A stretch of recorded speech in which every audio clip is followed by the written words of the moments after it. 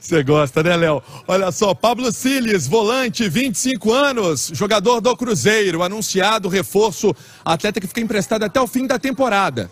No Furacão, poucas oportunidades porque o elenco do Filipão estava com inchaço né, de estrangeiro, então não tinha muito como utilizar o Pablo Siles, que é compatriota do técnico Paulo Pessolano, e agora vai ter o nome publicado no BID para que possa atuar, quem sabe, no fim de semana? Vamos esperar. Se tiver com a condição física em dia, é a expectativa, por exemplo, do Bruno Rodrigues, que é do Tom Bense, estava no Famalicão, e agora falta também o nome dele ser publicado no BID, já que o Estênio foi ontem. Léo, uma informação também sobre jogador que está deixando o Cruzeiro, mas não estava no elenco em si ele estava emprestado ao Guarani, Matheus Pereira.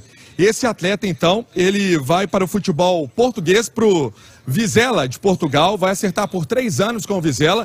E aí a pergunta que todo mundo faz: vai cair um capilé no bolso do Cruzeiro? Vai entrar uma grana? Não. Mas numa futura negociação, o Cruzeiro pode sim receber uma grana. Se, por exemplo, ele vai lá e estoura, ele pode ir para um time maior na Europa, o Cruzeiro vai ganhar a grana dele. Então, essa informação também para a gente destacar.